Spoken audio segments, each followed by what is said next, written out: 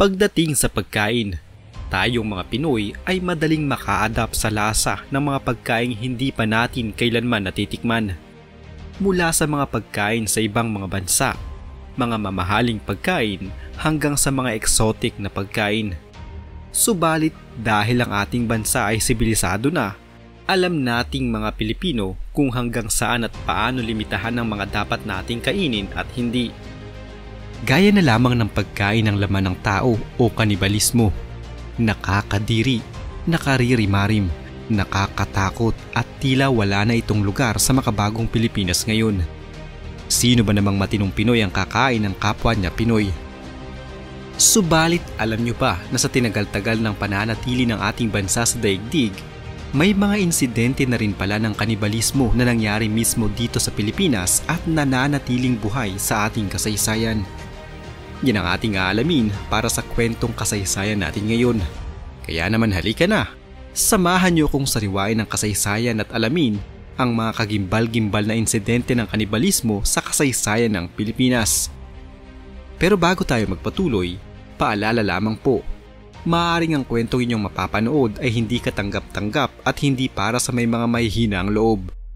Kung hindi po kayo sanay makarinig ng mga nakakadiring mga salita, marapat lamang po na mag next video na lang kayo. Pero kung okay lang naman sa inyo, halika't magpatuloy na tayo.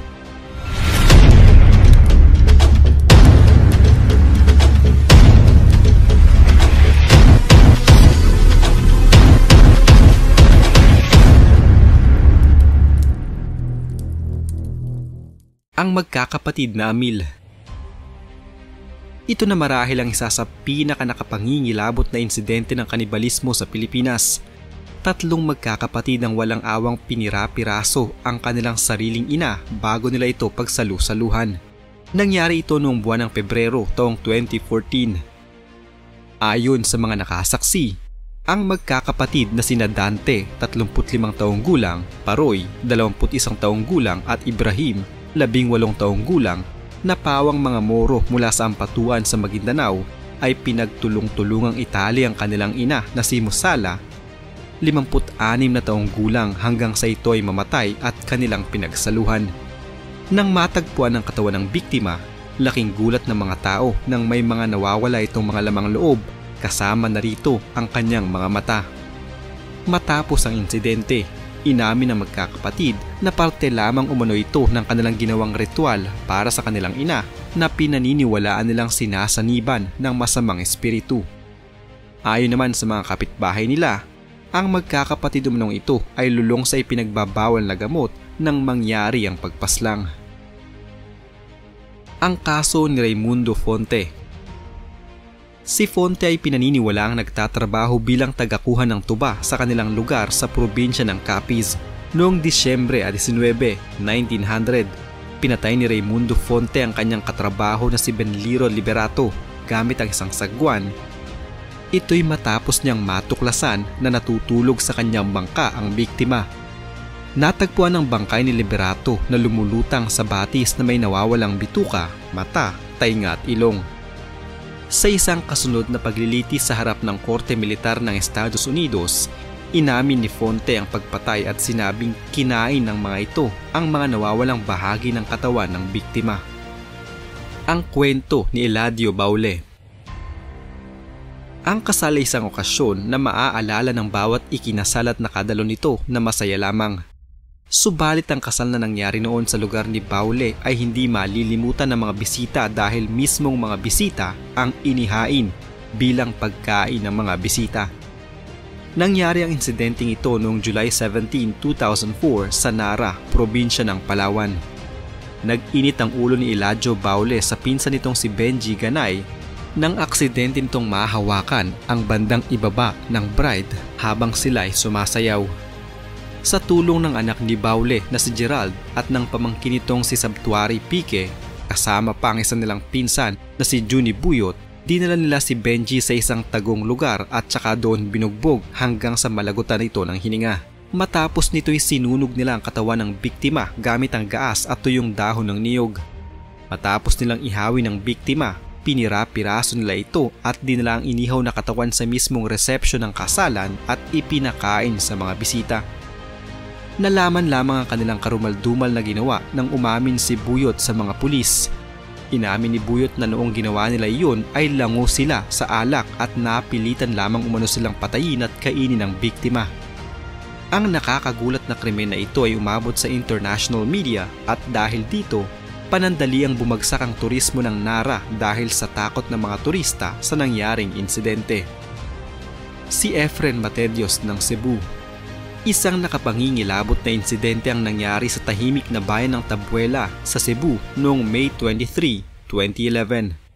Ang nooy 29 anyos na si Efren Matedios ay walang awang hinati ang katawan ng kanyang anim na taong gulang na pamangkin tsaka niya kinain ang mga lamang loob nito. Agad namang naaresto si Matedios sa kanyang ginawang krimen. Sinabi niyang inosente siya at ikinuwento niya sa mga otoridad.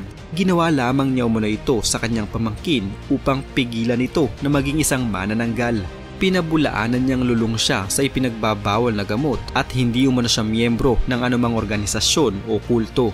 Ayon naman sa kanyang mga kapitbahay, bago pa man umano mangyari ang insidente, sinugod ni Matedios ang isang matanda sa kanilang lugar na pinaniniwalaan niyang isang mangkukulam at isinumpa umano siya na maging isang ungo o halimaw na kumakain ng laman ng tao.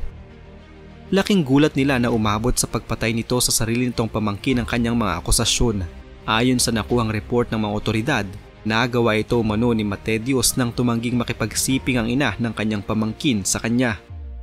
Nakatakas ang ina nito subalit hindi naman ang kanyang pamangkin. Kaya naman sa kanya naibunton ang lahat ng kanyang sama ng loob.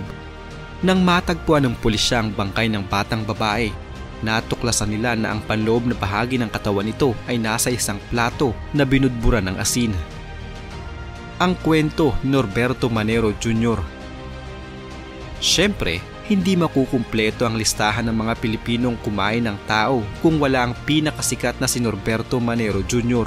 Kilala din siya bilang si Commander Bukay ng kanyang mga kaaway at taga-suporta.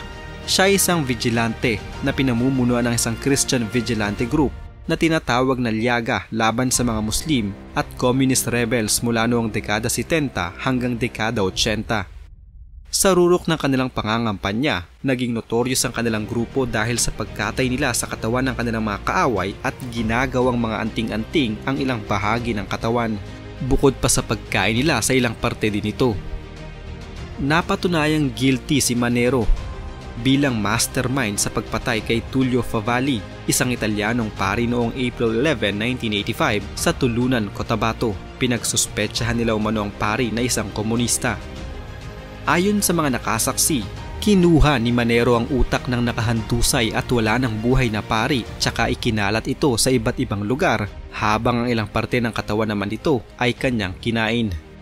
Dalawang dekadang nakulong si Manero dahil sa krimen subalit nakalaya din taong 2008. Ngayon ay namumuhay na siya ng normal at tahimik kasama ang kanyang mga alagang panabong ng mga manok na dating pag-aari ni Manny Pacquiao.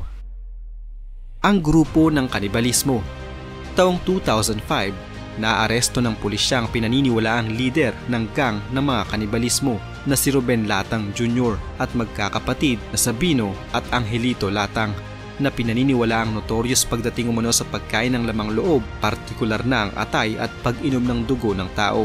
Kinumpirma ni Ruben na kinain niya ng grupong ito ang puso at atay ng tao ng kanilang mga biktima at iniinom ang kanilang dugo sa paniniwalang ito ay isang mabisang anting-anting para proteksyon mula sa mga bala at bladed na mga armas. Nakapangingilabot ang mga istorya ng kanibalismo sa mga tribong malayo sa kabihasnan. Hanggang ngayon ay marami pa ring tribo ang ginagawa ito. May iba kasing naniniwala na lumalakas sila kapag kinakain ng kanilang natatalong kalaban. May ilan namang naniniwalang kailangan nilang kainin ang katawan ng yumao nilang kaanak para manatili ang mga ito sa kanilang piling. Sa Pilipinas, mayroong mga kaso na ng kanibalismo na nai-report. May ilan dito ay mga nasira ng bait at may ilan namang naiugnay sa mga aswang. Pero isang nadiskubre ang maaaring mag-link na ang mga ninuno natin ay may bahid ng pagiging kanibalismo. Ang ilang indigenous tribe kasi na headhunters ay laganap sa bansa Subalit walang nakapagpatunay na mayroon din tayong kanibalismo tulad ng mga nasa ibang lugar sa Pacific tulad ng Polynesia at New Guinea. Ngunit ang nadiskubring labi ng isang 9,000 years old na babae sa Palawan ay maaaring makapagbunyag na ang dating mga ninuno natin ay ginagawang kanibalismo. Ayon sa dalubhasa na nakadiskubre, ang labi ng babae ay metikulosang tinanggalan ng laman at balat sa mga buto nito bago inilibing. Pero sa ngayon, ang iniisip nila ay purong ritual lamang ito o parte ng kanilang mga kultura hindi pa rin mayaalis isipin ang kanibalismo tulad ng mga ginagawa ng tribo sa South America na kinakain ng kanilang mga yumaong kaanak.